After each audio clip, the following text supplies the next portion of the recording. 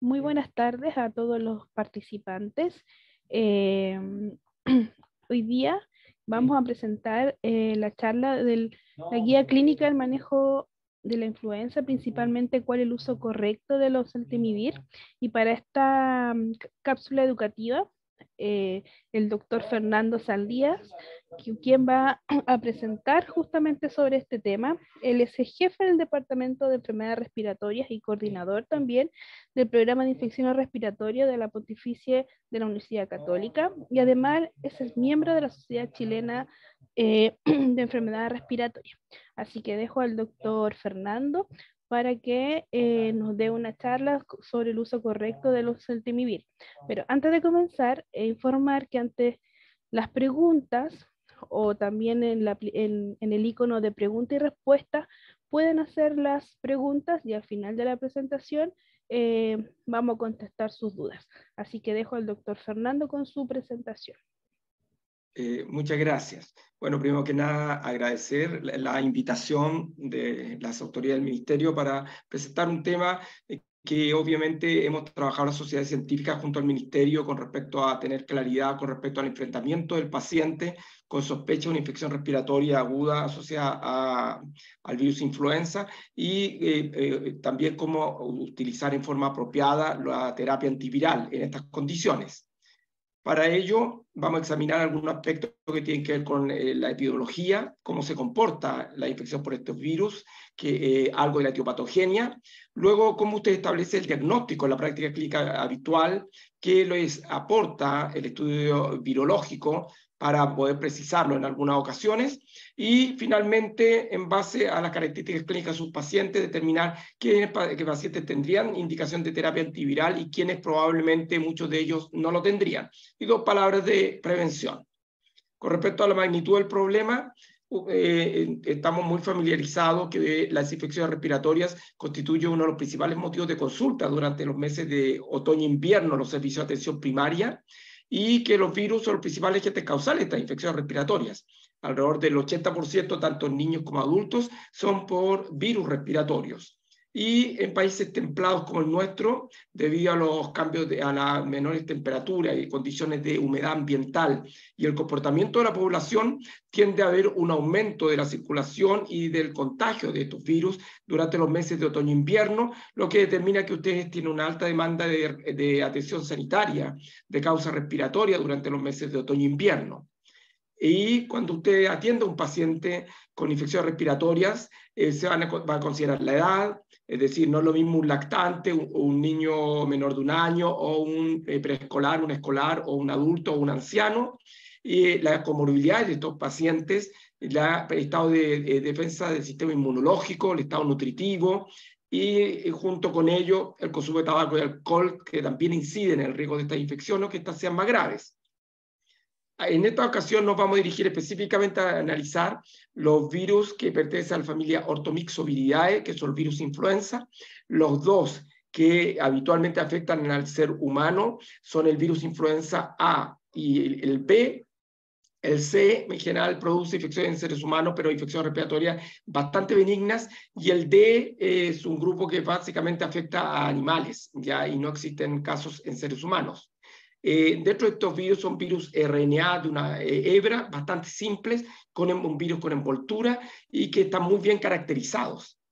Los virus respiratorios en general, incluyendo el virus influenza, pueden producir síndromes clínicos de infecciones respiratorias altas, benignas, hasta cuadros graves, como son las, esas observaciones en nuestros pacientes asmáticos o con EPOC de, asociados a los virus respiratorios, y infecciones respiratorias bajas o neumonía. Esa es la importancia entonces de considerar y la importancia de este problema, digamos. Si nosotros consideramos la carga de morbilidad anual por infecciones por virus influenza, a pesar que tiene este eh, comportamiento estacional que afecta en un pico estacional de otoño-invierno de 6 a 8 semanas al año, la carga de morbilidad al año es de alrededor del 1 al 2% de todas las consultas de los servicios de urgencia y afecta principalmente a adultos jóvenes, como lo vemos, digamos, acá, y a eh, niños en edad escolar y preescolar. O sea, eh, eh, implica una carga de movilidad importante, sobre todo en niños y también en personas en edad, digamos, en etapa productiva, ¿ya? Es una enfermedad infectocontagiosa, o sea que se contagia de un enfermo a un sano, es causada, ya hemos mencionado, por dos virus, eh, dos variedades de virus, virus influenza A y B, tienen este, que se presentan en climas templados como el nuestro, con estos brotes estacionales que duran seis a ocho semanas. A diferencia de lo que ocurre en eh, climas tropicales, en que la temperatura y la humedad ambiental es similar en todo el año, en donde tiende a ser más bien endémico durante todo el año. ¿Cuál es la característica de la infección por el virus influenza? Que en, en, pacientes jóvenes, niños o adultos jóvenes sanos, tiende a ser un cuadro autolimitado de curso benigno, por lo cual con la medida de cuidados generales los pacientes evolucionan bien. Sin embargo, en algunas categorías de riesgo que vamos a definir, estos cuadros tienen mayor morbilidad y riesgo de muerte o de complicaciones, es causa de compensación de enfermedades crónicas, cardiovasculares o de otro tipo, pérdida de la autonomía de nuestros adultos mayores debido a las consecuencias eh, para ellos de esta infección y obviamente un eh, muy importante impacto económico. Se estima que cada año el 5 al 10% de la población mundial se contagia con los virus influenza, que al tener la particularidad de irse modificando genéticamente año a año, determina una enorme carga de morbilidad. Se estima que hay 3 a 5 millones de casos graves de influenza cada año, de los cuales alrededor del 10% fallecen. ¿Y quiénes son los que son más afectados y tienen mayor riesgo, obviamente, de complicaciones?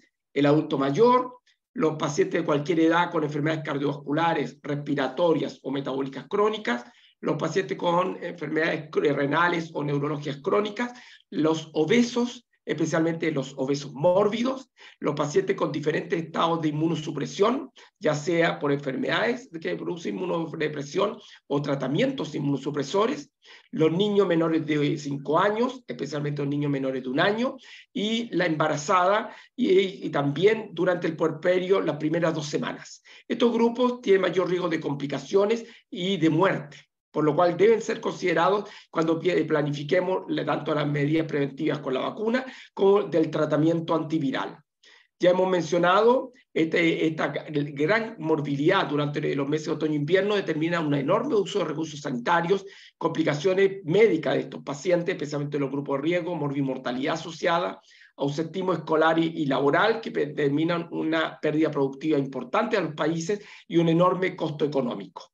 Tenemos medidas preventivas en el caso del virus influenza a través de los programas de vacunación y con las medidas de evitar, los contagios que hemos aprendido y hemos vuelto a reforzar después de la pandemia de COVID-19.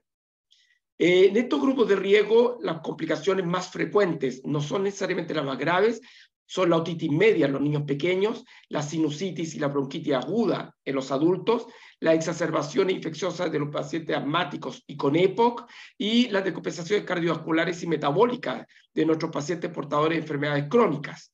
Eh, sin embargo, las más temidas son la neumonía viral por virus influenza, que tiende a ser una neumonía multilobar con falla respiratoria y que evoluciona a eh, falla orgánica múltiple, que puede tener elevada mortalidad, y la sobreinfección bacteriana, que se ve después de una infección por virus influenza, eh, sobre todo por eh, neumonía, estreptococopiógenes y, y estafilococo aureus, que también tienen un elevado índice de complicaciones. La, el virus influenza junto con el rinovirus y el virus incisional respiratorio son los principales virus vinculados a la exacerbación de nuestros pacientes con EPOC. Y también el virus influenza, antes de la pandemia de COVID-19, era el primer virus vinculado a la neumonía adquirida en la comunidad en el adulto. Es decir, uno de cada cuatro adultos con neumonía se identificaba un agente viral y el virus influenza era el que más se identificaba. Obviamente ahora también antes de la vacunación, COVID-19 fue el primer el virus que tuvimos durante varios años. Pero qué va a ocurrir en el futuro lo vamos a ir viendo de acuerdo a los programas de vacunación y cómo se vaya comportando el virus en la comunidad.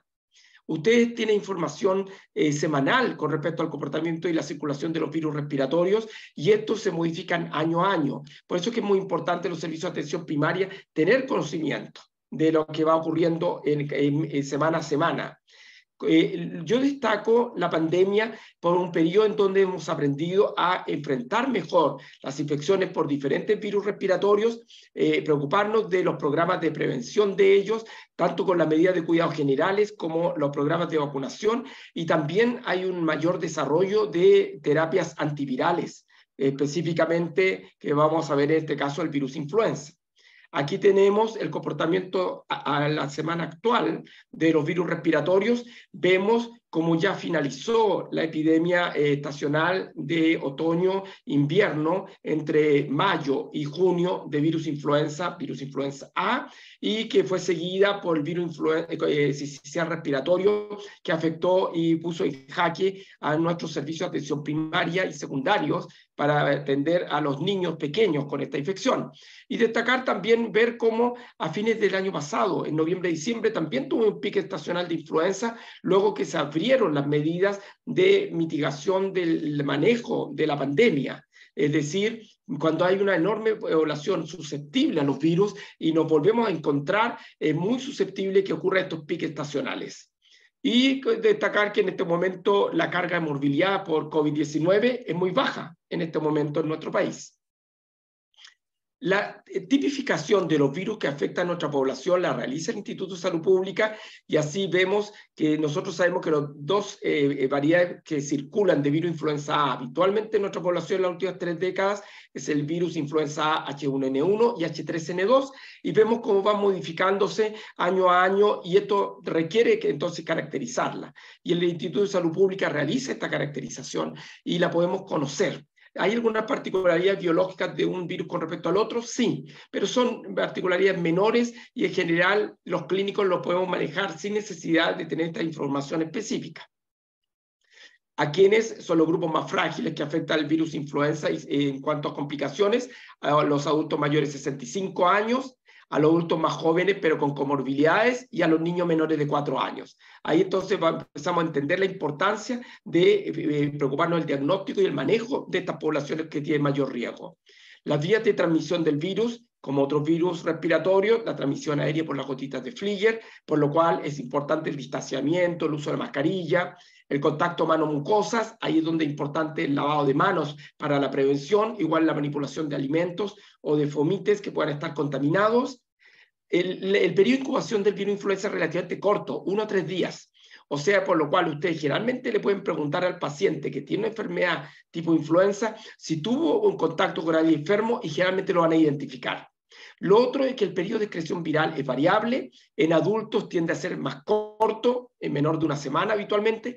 En niños pequeños y en inmunocomprometidos pueden ser varias semanas, pero eso es importante considerarlo tanto para los contagios como por los periodos de incubación. En general, eh, uno ya es contagioso las 24 eh, horas antes de comiencen los síntomas. Y en general en los adultos esto es menor de una semana. Esto es importante saberlo. Con respecto al diagnóstico, en general, la mayoría de las infecciones por virus respiratorios son de diagnóstico clínico y la gripe influenza entra en este grupo. En cambio, a diferencia de la neumonía, en que pedimos hacer una radiografía de tórax para demostrar la presencia de una condensación pulmonar asociada al cuadro clínico, la mayoría de los síndromes clínicos asociados al virus respiratorio, ustedes con el cuadro clínico van a llegar al diagnóstico. Así definimos la enfermedad tipo influenza. Ya dijimos que el periodo de incubación es generalmente relativamente breve, de algunos días, de haber estado en contacto con alguien enfermo. Hay gran malestar eh, general, mialgia, cefalea, fiebre, 38, 40, 41 grados Celsius, calofríos y síntomas respiratorios, congestión nasal, rinorrea, odinofagia, con tos que puede ser seca o productiva. Hay alteración habitualmente de los signos vitales, taquicardia, taquipnea, fiebre objetivada, puede haber congestión nasal y faringia, y el examen pulmonar es normal a menos que haya una complicación asociada al virus influenza. Y este cuadro clínico de malestar general, síntomas constitucionales y respiratorios con fiebre alta, asociado a alta circulación del virus en la comunidad, es altamente predictivo del diagnóstico de influenza y es lo que uno denomina habitualmente enfermedad tipo influenza. Es decir, este cuadro clínico tiene una alta sensibilidad y especificidad en el periodo de alta circulación de los virus. haciendo, eso sí, alguna mención que en niños pequeños, en adultos mayores, en algunas poblaciones con comorbilidad específica, puede haber alguna variante en cuanto a las manifestaciones clínicas, pero en general este cuadro clínico a usted le ayuda con bastante certeza en el periodo de alta circulación del virus a hacer el diagnóstico de esta condición. Ese es el motivo por el cual, en general, el Ministerio de Salud ha recomendado, como también lo recomienda la Organización Mundial de Salud, que la mayoría de los diagnósticos de, durante la eh, epidemia que ocurre cada año se haga en base a elementos clínicos.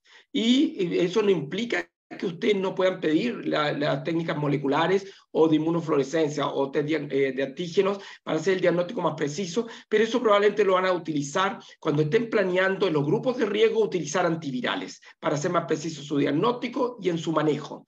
Pero la mayoría de la población, considerando que son muchas las personas que consultan en un periodo relativamente corto, los van a poder manejar con las medidas de cuidados generales sin necesidad de hacer un diagnóstico virológico preciso.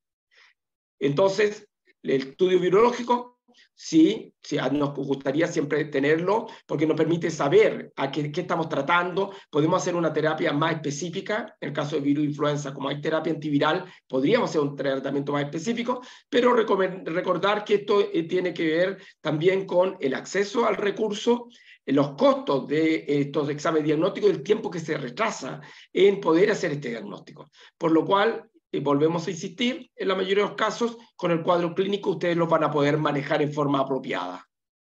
La mejor toma para estudios de virus respiratorios, incluyendo virus influenza, sigue siendo eh, la muestra de hisopado o aspirado nasofaringio. Ya es importante considerar que en el momento que lo tomemos va a ser el rendimiento. En general, para el virus influenza, el mejor rendimiento está entre el, el segundo y el tercer día después del inicio de los síntomas. Y después ya cercano a la semana, sobre todo en adultos, puede que el examen salga negativo. Ya, por lo cual, igual que con COVID-19 y otros virus, es muy importante saber en el momento que se realiza. Los estudios pueden ser eh, variados, en general a quienes estudiar entonces con eh, test eh, virológicos, especialmente a los pacientes inmunocomprometidos, a los adultos mayores con comorbilidad múltiple y aquellos con infección respiratoria grave que sean hospitalizados. Esos son los grandes grupos que deberíamos intentar hacer el diagnóstico preciso. Para ello, el mejor examen diagnóstico en este momento son las técnicas de PCR con eh, transcriptasa reversa, ya son altamente sensibles y específicos y también son superiores en sensibilidad a las técnicas de inmunofluorescencia. ¿Ya? Y los test rápidos de antígeno, que son muy utilizados en servicios de atención primaria y servicios de urgencia, tienen problemas de sensibilidad. Eso es bien importante considerar. En general, todos estos exámenes son altamente específicos, pero la sensibilidad de los test rápidos es menor. Por lo cual, ¿a quién estudiar cuando se presenta un paciente con cuadro respiratorio agudo, sujeto a infección respiratoria viral?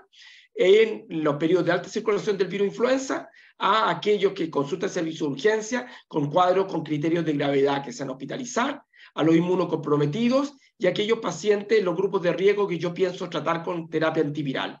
El resto de los pacientes de bajo riesgo o en otros periodos en que no hay circulación de influenza, de acuerdo al síndrome clínico, podrán tratarlos con la medida de cuidados generales. Recordad que para otros virus, como rinovirus, la mayoría de los coronavirus, ya exceptuando el SARS-CoV-2, para influenza, BRS, todavía no disponemos de terapias antivirales específicas que sean efectivas.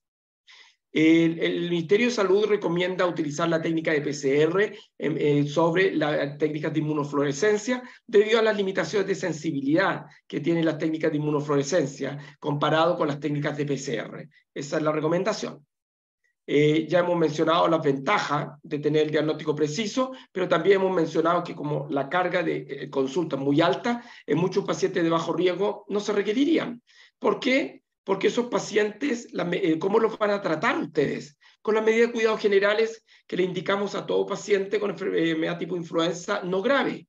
Reposo en el domicilio según el criterio del médico, hidratación, uso antipiréticos, medidas de aislamiento del caso índice en el hogar con precaución de gotitas, o sea, uso de mascarilla a quien lo atiende, lavado de manos, ventilación de la pieza, para evitar que se contagien otras personas en el hogar. El, lavado de manos ya lo he enfatizado, educar sobre cubrirse la boca y la nariz con pañuelo o con el, el codo para evitar transmitir una gran carga viral al ambiente y ventilar los ambientes. Y obviamente si el paciente eh, tiene signos de gravedad o evolución en forma desfavorable, tiene que volver a consultar para poder recibir el tratamiento que requiera de acuerdo a su condición. Esto es para los pacientes sin criterios de gravedad. Para los grupos de riesgo tenemos en nuestro medio el oseltamivir, ya la dosis habitual en adultos 75 miligramos cada 12 horas durante cinco días, la dosis pediátrica depende del peso, y si eh, vamos a prevenir en un adulto o en alguna persona de riesgo que va a estar en contacto con una persona con influenza, podemos utilizarlo en la mitad de la dosis. En general, eh, recordar que los inhibidores de neuraminidasa eh, son efectivos y activos frente a los dos virus influenza, A y B. Los adamantanos como amantadina y rimantadina ya no se recomiendan debido a la alta resistencia del virus influenza A, a, este, a estos fármacos, a sus efectos adversos también, y a que no cubría el virus influenza B. Ahora se dispone una forma inyectable, peramivir, que es de dosis única, que puede ser útil a los pacientes graves eh, que se hospitalizan. Y eh, está apareciendo ya en el mercado nacional el Baloxavir, que es un mecanismo de acción diferente. Por eso es interesante, porque oseltamivir, sanamivir y peramivir son inhibidores de la neuraminidasa, por lo cual inhiben la liberación del virus y de esta forma la replicación. En cambio, el es un inhibidor de endonucleasa que inhibe la RNA eh, polimerasa viral y así inhibe la, la, transcripción del material genético y la replicación viral por lo cual es otro mecanismo de acción. Y tiene también la ventaja con respecto a, a oseltamivir, que es de una dosis solamente, eh, en una sola dosis basta. Eh, las revisiones sistemáticas con oseltamivir de la Cochrane demuestran que en adultos acortaría si se usa dentro de los primeros dos días de inicio de los síntomas, alrededor de 16 horas la duración de los síntomas, y en los niños alrededor de 24 horas, alrededor de un día. El, Ministerio, en esa misma época, alrededor del 2015, hizo las mismas revisiones sistemáticas en forma independiente, llegando a las mismas conclusiones. En adultos se acortaría alrededor de 16 horas eh, obviamente los estudios no son capaces de mostrar cambios en la mortalidad o en la tasa de hospitalizaciones, debido a que en la población general la tasa de hospitalización y de muerte es baja. Y en niños se cortaría alrededor de un día, 29 horas, eh, la duración de los síntomas y también no incidiría en el riesgo de hospitalización o desarrollar neumonía. Eh, con respecto a el uso en grupos de riesgo en adultos, eh, que se exponen a personas con influenza en su ambiente, en su casa, eh, claramente el uso de celtamivir en dosis única diaria, puede ser una o dos semanas, de acuerdo al periodo de, de contacto con el grupo de riesgo, disminuiría en forma significativa el desarrollo de influenza de la enfermedad, por lo cual obviamente también sería eficiente para la profilaxis. En resumen, eh, podemos decir que el uso precoz de los antivirales en las poblaciones de riesgo reduce el riesgo de complicaciones y de hospitalización por influenza. En pacientes ambulatorios con influenza, el uso de los antivirales reduce el riesgo de otitis media en los niños y el uso de antibióticos por infección respiratoria aguda y las hospitalizaciones en adultos. Y en los pacientes hospitalizados con influenza, con cuadro, eh, signos de gravedad, el uso de los antivirales reduce la admisión a UCI y el riesgo de muerte en los adultos hospitalizados.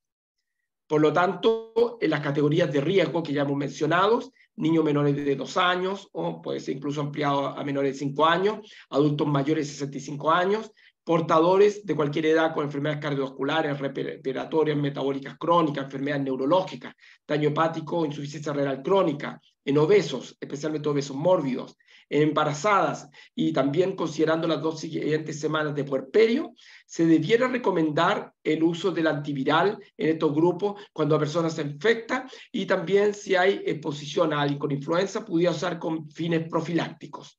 En niños y adultos sin factores de riesgo, en general se podría ofrecer, pero es una decisión eh, que puede ser caso a caso y no tendría que ser una regla el utilizarlo.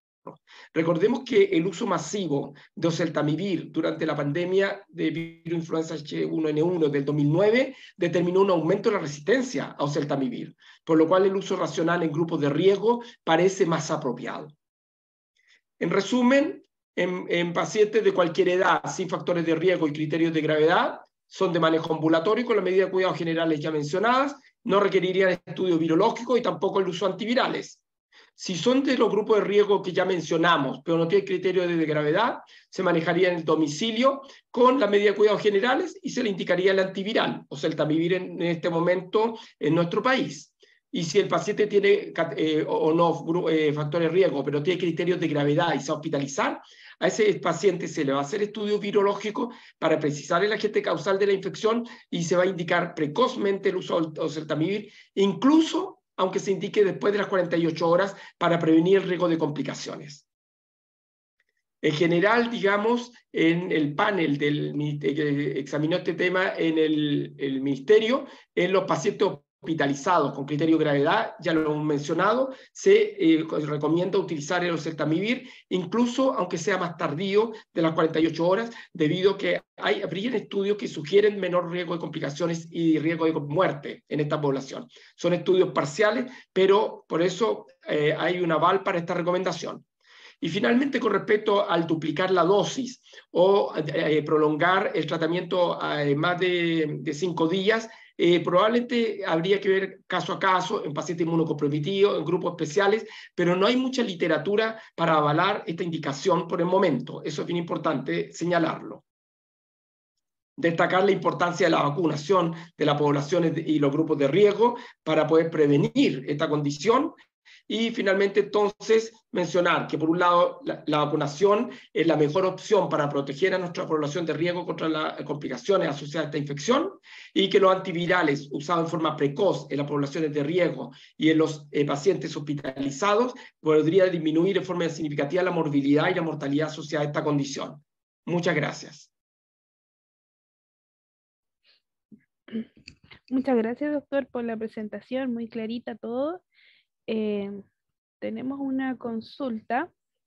Dice, en caso de que exista problema de stock de jarabe o saltimivir, ¿es posible diluir la cápsula para administrar a los pacientes siguiendo las recomendaciones que daba el laboratorio Roche o han cambiado las recomendaciones?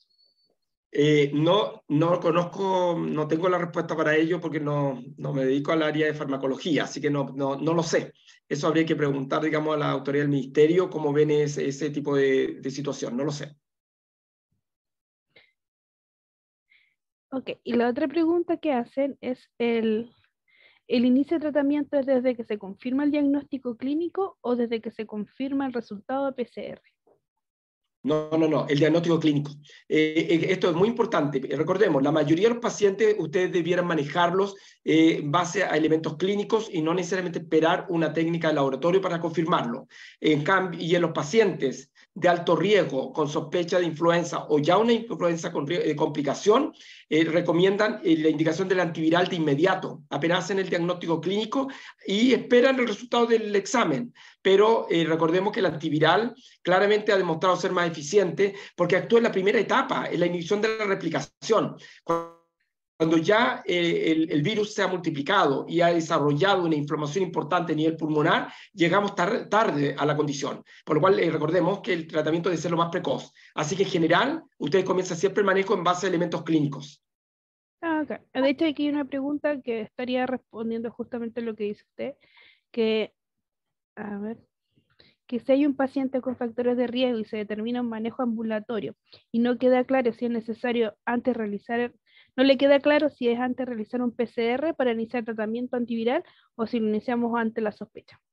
Si, si, el paciente es de grupo de riesgo, es mejor que lo inicien. En cambio, si es un paciente, un adulto joven o un, eh, o un escolar que no tiene factores de riesgo, con la medida de cuidados generales puede bastar y no necesitarían realmente hacer el diagnóstico virológico. Otra de las consultas dice, ¿existe alguna precaución que haya que tener en base a la mezcla de medicamentos de oseltamivir con los medicamentos de base de un paciente de riesgo? Un, eh, un, medicamento de qué tipo, perdón, no escuché. Ah, con respecto a interacción de medicamentos. Bueno, eh, recordar que en general ya eh, este fármaco tiene un buen espectro, digamos, de, de, seguridad, por lo cual aparte de los síntomas digestivos y algunos pacientes con cefalea, digamos, no hay mucho, y algunos pacientes con alergia, que son raros, en general es un medicamento bien tolerado, por lo cual en general no debieran tener temor a utilizarlo si está bien indicado en los casos que se requiera. Ok, acá hay otra consulta que dice, ¿el niño recomendaría también iniciarlo aún después de las 48 horas de la población que se hospitaliza? Entiendo que los estudios son más en adultos. Eh, eso es correcto, sí, pero en niños también. Ya, digamos, recordemos que la edad extrema de la vida son los grupos de mayor riesgo. Y si el paciente es un niño y se está hospitalizando es porque tiene criterios de gravedad o porque tiene algún grado de insuficiencia respiratoria o algún eh, aumento de dificultad respiratoria importante, por lo cual eh, lo van a indicar también, aunque la evidencia, tal como dicen, es pobre todavía. Lo otro que dice, si los niños también se recomienda entonces mantener los 10 días o solo por 5 días. Eh, lo que pasa es que es por la evidencia. Ya en realidad estudios de prolongación de terapia o de aumentar la dosis, como se planteó en algún momento en casos graves en pacientes adultos, son estudios, digamos, que todavía no tienen un aval. Por lo cual, eh, ahí probablemente tendrían que estar hablando con los especialistas de su centro para ver en qué casos pudieran eh, ser particulares como los inmunocomprometidos y algunas poblaciones especiales pero en la mayoría de los casos esa conducta no estaría avalada por la, por la evidencia. Eh, dice también hay otra consulta. En el caso de neumonía viral, en contexto de, de un SAP, un SAR, ¿es recomendable la primera dosis en el centro antes del alta o antes de referencia? Entiendo que paciente, Sí, si el paciente tiene una neumonía por virus influenza, lo van a derivar obviamente a hospitalizar a una unidad de un servicio de urgencia y a hospitalizar. Sí, eh, no hay duda, no tienen por qué retrasar la primera dosis de la terapia antiviral. Recordemos que lo que hace oseltamivir del punto de vista de inhibición de replicación implica que frente a placebo acorta un par de días la replicación viral, por lo cual mientras eh, menor carga viral tenga el paciente, es menos probable que se monte una respuesta inmune exagerada, que lo que puede llevar al daño pulmonar, parecido a lo que pasó en COVID-19. Por lo cual el uso, mientras más precoz, es mejor. Por lo cual sí, si el paciente tiene evidencia de neumonía, ya eh, no hay duda que mejor que le indique la primera dosis, sí. Otra consulta, hay varias consultas. En caso que se inicie una terapia de forma empírica por ser población de riesgo, pero se solicita el examen confirmatorio y si este sale negativo, ¿se suspende la terapia?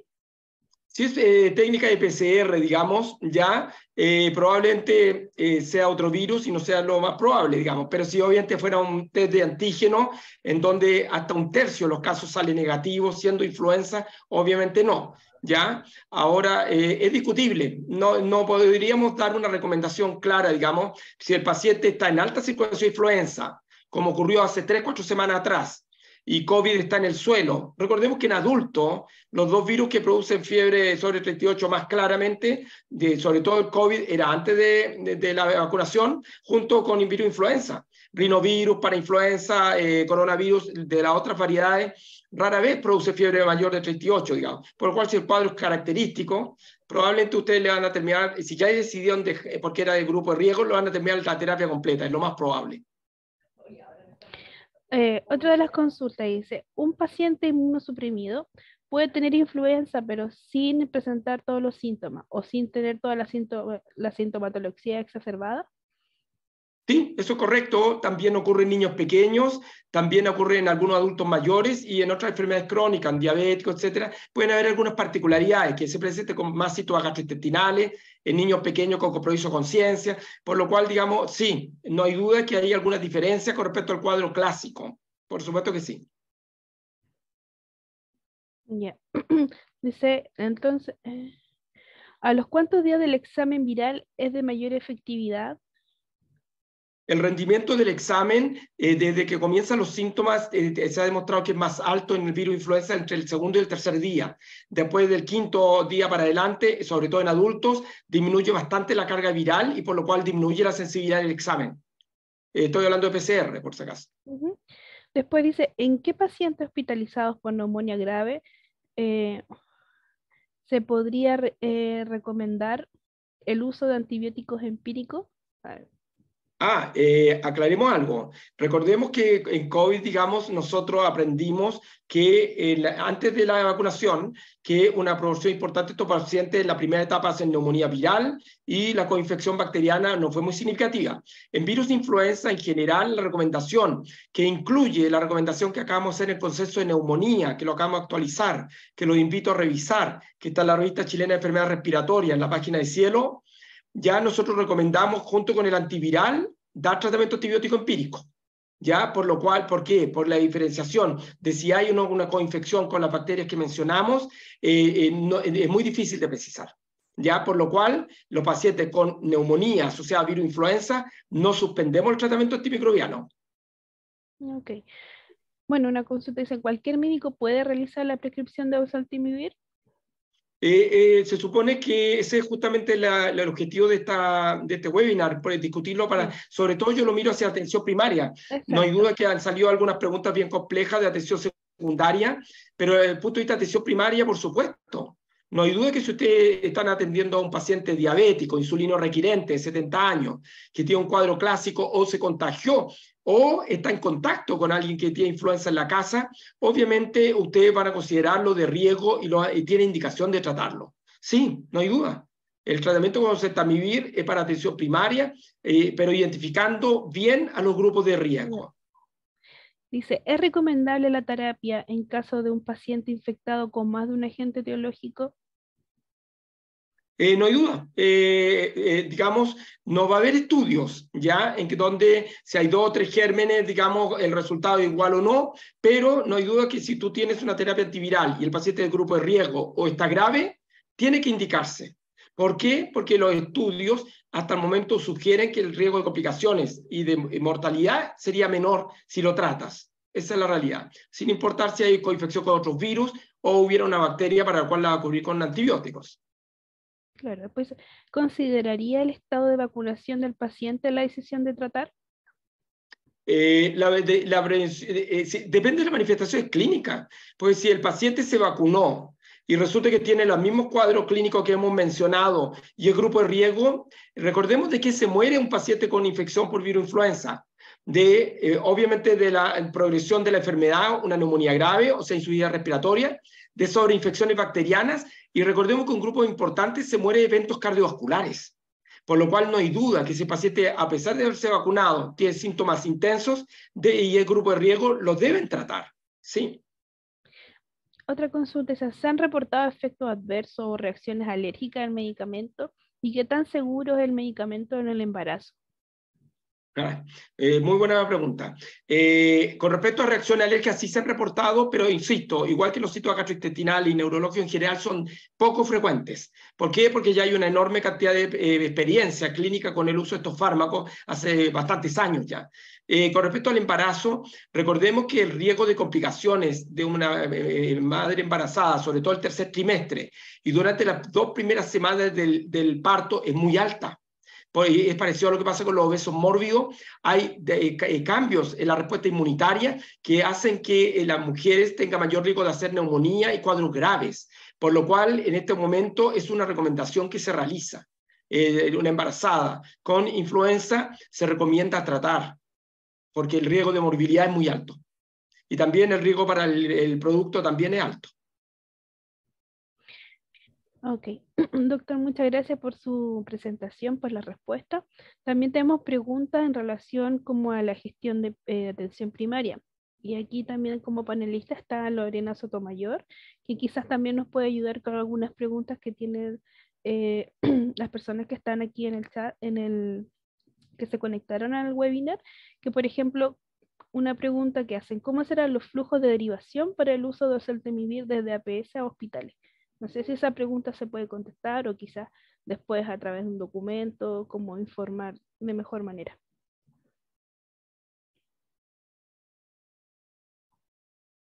Tiene el micrófono.